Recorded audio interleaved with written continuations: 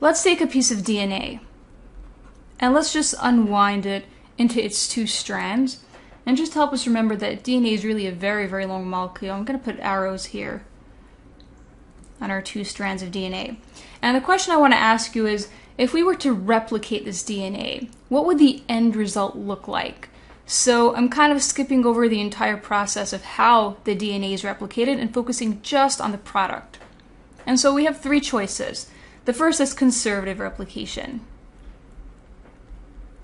And in conservative replication, we have our old pair of DNA and then we synthesize a completely new pair of DNA. So you can see the old pair that looks just the same as what we had before in yellow, and then we have a completely new pair, which is represented in blue. Our next choice is dispersive replication. And in dispersive replication, we're going to end up with two pairs of DNA, and in each one of those pairs, we have some old DNA and new DNA dispersed within that double stranded DNA. So you can see there's yellow and blue mixed up together. And it wouldn't necessarily have to be in the ratio that I drew it in.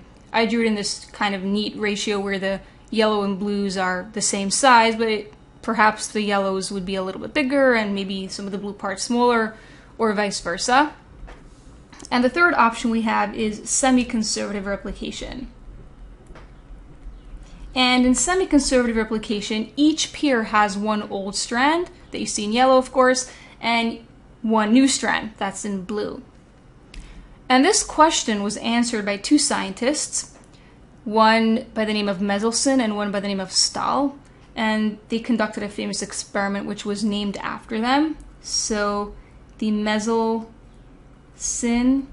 Stahl experiment. And in this experiment, they proved that DNA replication is semi conservative. So, this is how DNA is replicated.